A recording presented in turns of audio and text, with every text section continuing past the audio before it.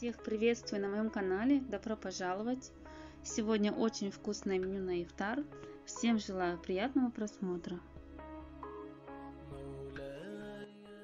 Буду готовить очень вкусный супчик мастава.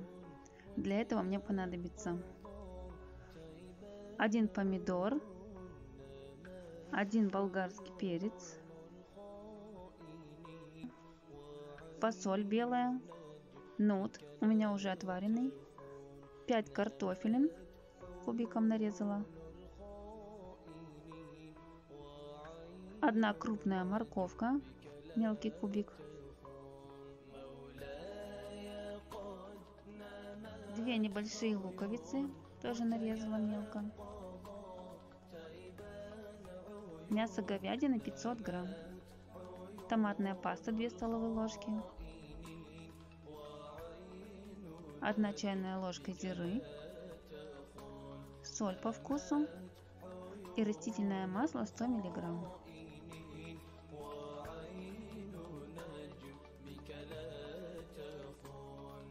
В разогретый казан отправляю масло растительное и выкладываю мясо.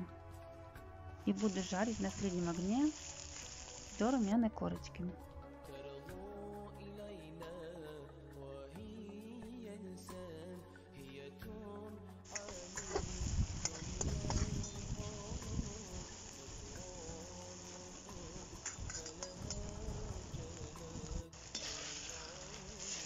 Мясо мое обжарилось.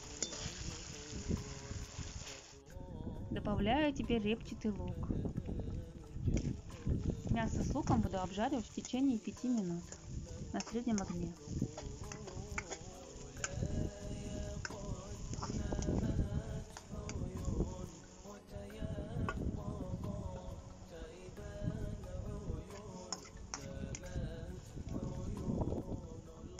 Мясо с луком уже обжарилось, добавляю морковку. Буду обжаривать пару минут.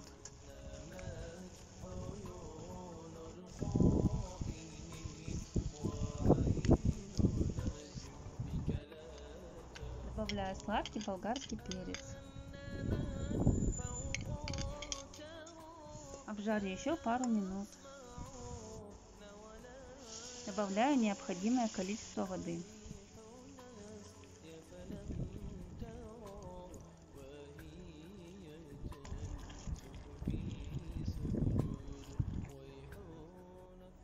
Когда вода закипит, сразу добавлю картофель.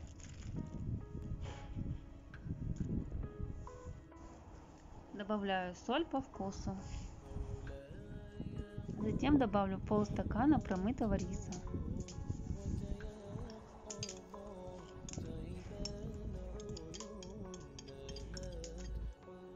Теперь добавляю помидор, томатную пасту оставлю вариться на среднем огне до готовности.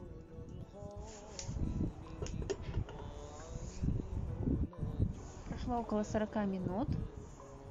В последнюю очередь добавляю фасоль и вареный нут. Выдавливаю пару зубчиков а, чеснока. У меня очень большой чеснок, поэтому если маленькие брать, то зубчика 4 будет.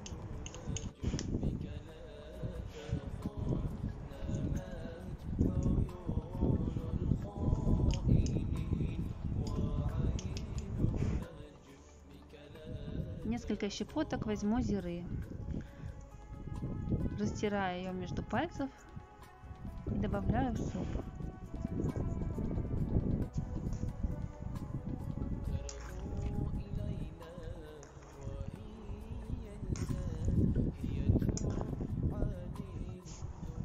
Доведу еще раз до кипения, проварю пару минут и буду убирать с огня. Мой супчик уже готов. Посмотрите, какой он наваристый, аппетитный и очень ароматный. А вкус вообще бесподобный будет.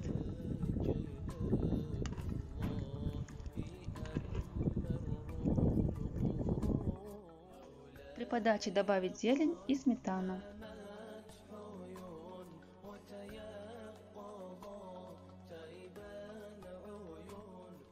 При Приготовлю творожный тортик. В миску разбиваю 3 куриных яйца.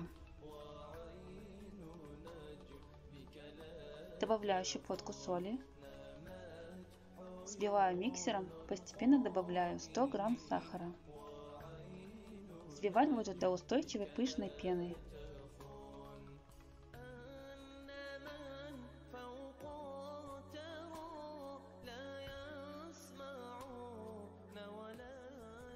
Такая вот пена должна получиться. Добавляю постепенно в два приема 110 грамм муки. Перемешивать нужно лопаткой снизу вверх.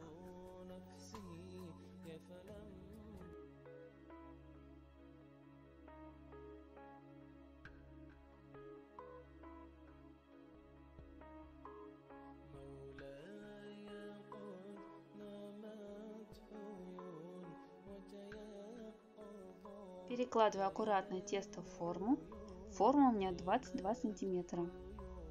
Буду выпекать в течение 40 минут при 170 градусах. Приготовлю творожное суфле. Для этого мне понадобится творог 600 грамм, вода 250 миллиграмм, сахар 250 грамм, сметана 300 грамм, ванилин и 20 грамм желатина. Желатин высыпаю в холодную кипяченую воду и дам ему набухнуть в течение 5 минут.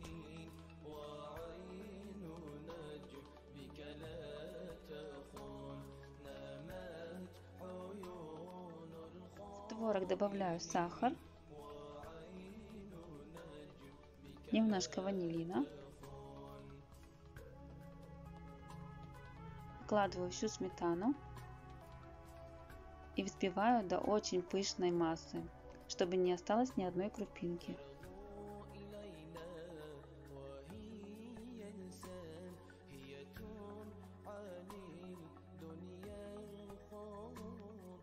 Вот такая вот гладкая однородная масса должна получиться. Теперь постепенно добавляю желатин я его э, растопила в микроволновке, по 10 секунд постоянно перемешивала. Когда желатин полностью растворится, вот добавляю постепенно его в творожную массу.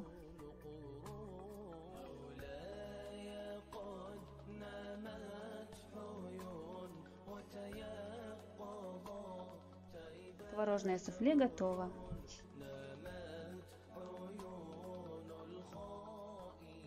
Бисквит нужно будет разрезать ровно на три части.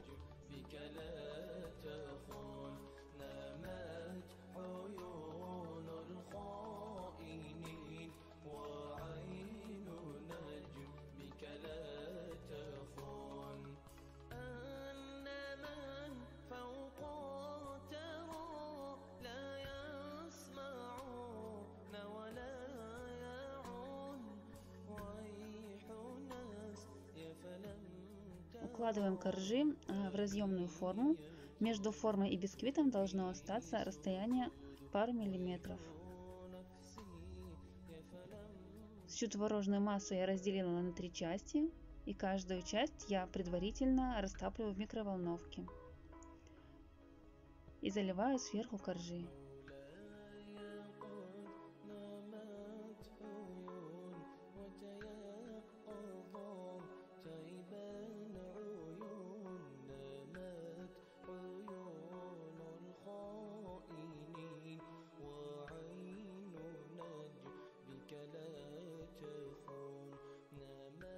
Отправляю тортик на 1 час в холодильник.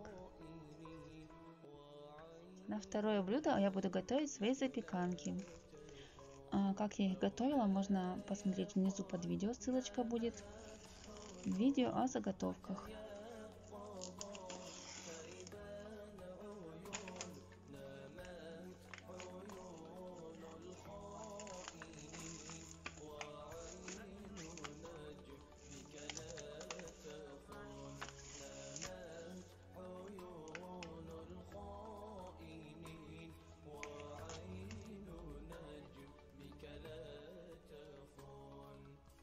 Запеканки у меня замороженные.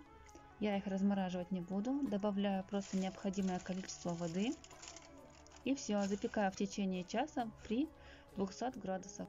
На всякий случай сверху я укрыла пергаментной бумагой и в таком виде буду запекать. Мои запеканочки уже готовы. Посыпаю зеленью. И можно подавать к столу.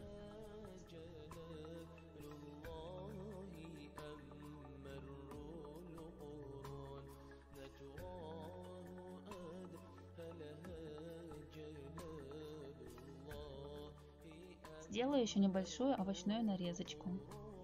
Для этого мне понадобится помидор, огурец и сладкий болгарский перец.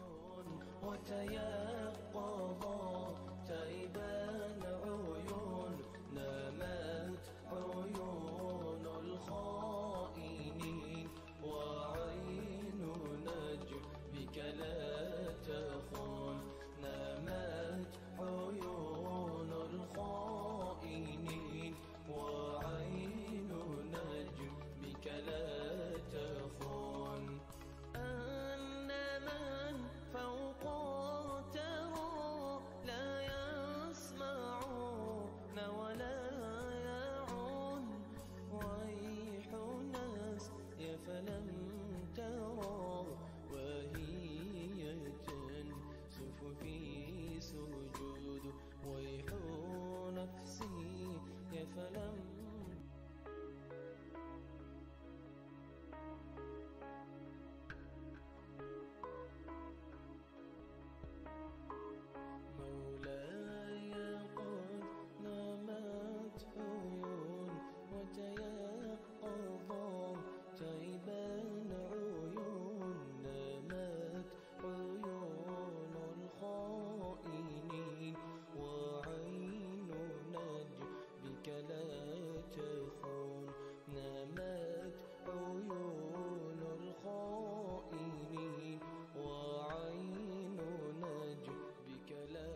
Тортик буду украшать свежей клубникой.